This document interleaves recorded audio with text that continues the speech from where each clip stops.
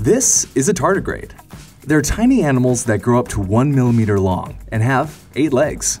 They're also known as water bears. Their feet look like this, more like claws. And up close, their faces look like this. Some speculate that there are around 900 known species. They were given the name tardigrada by Italian biologist Lazzaro Spallanzani. They're also known as moss piglets.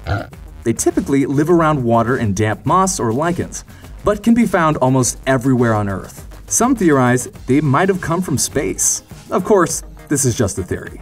They can survive dry periods by curling into little balls. They can hang around like that for a hundred years before casually regenerating. Some species are carnivorous. Some might even eat other tardigrades. So, how resilient are these little guys? They can withstand 1,000 times the lethal human dose of X ray radiation.